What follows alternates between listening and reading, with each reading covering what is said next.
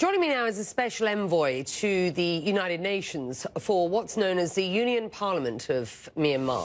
It's Dr. Sasa. His group of deposed former civilian leaders have formed the National Unity Government uh, in opposition to Myanmar's junta. Um, the group wasn't invited to Saturday's ASEAN summit. Sir, you said ahead of that meeting uh, that um, any meeting that includes the murderer-in-chief of Myanmar won't help the country. Be that as it may, he was invited and he did attend. Do you see any evidence that the agreement made uh, there at the ASEAN summit to end the violence is being implemented?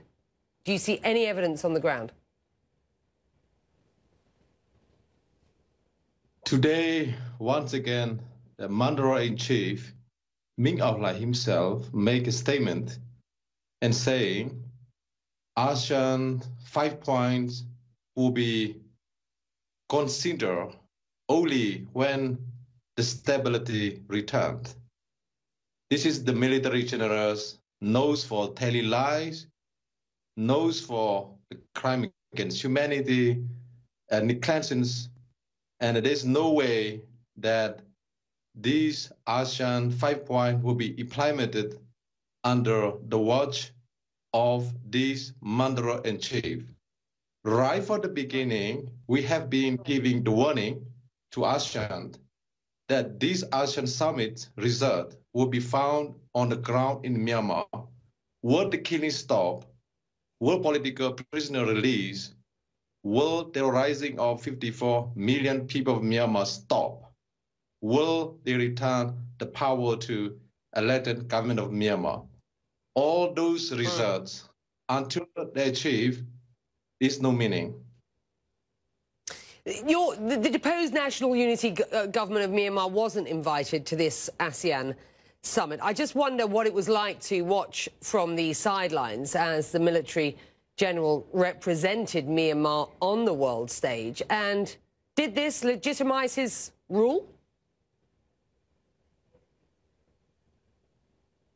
It's very painful.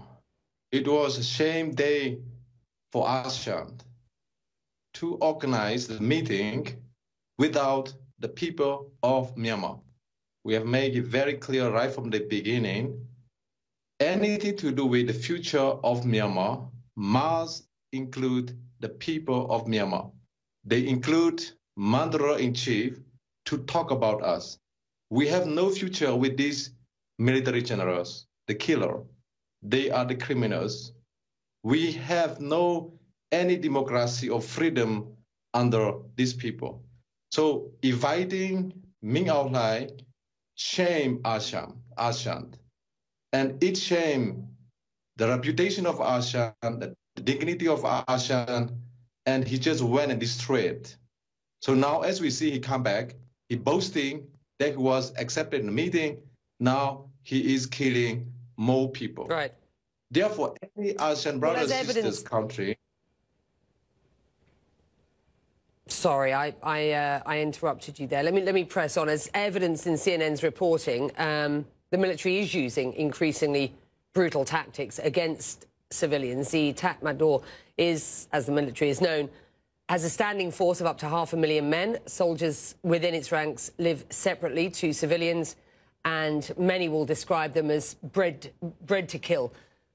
What will happen to the people of Myanmar if the international community doesn't intervene, if nothing more is achieved than a summit where a five-point sort of communique was issued, and if the military is left unchallenged? Last time you and I talked was about three weeks ago, and you said you feared that things could get an awful lot worse. And you talked about a civil war. Is that still your concern? Let us be very clear. 54 million people of Myanmar have said enough is enough. To live under this oppressive, brutal, cruel regime, we don't want it. We want to die than to live under this mantra. Night after night, day after day, terrorizing its own people. It's not good to work. These military generals are known for brutality for the last seven decades. We have said enough is enough. It's better for us to die than to live under these murderers. Right from the beginning, we have been saying about the great civil war, which is already begun. Now they almost kill now 1,000 people as we speak. If the death toll reached 10,000 people, it will be declared mm. as genocide. Okay. At that time, the national community action will have no meaning. You, let me let me briefly um, close with this. You're in an undisclosed location. That's for your own safety. Uh, your life and the lives of those in the deposed government are still very much under threat. Uh, we've got 45 seconds. What is your message to the world right now on behalf of that civilian government?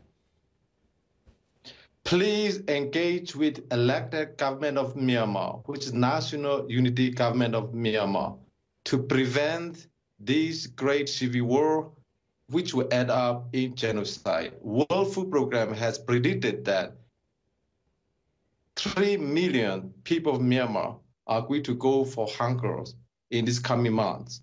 All this need to be prevented before it's too late. We need tougher, stronger international action. No more words, but actions. With that, we'll leave it there. We thank you very much indeed for joining us.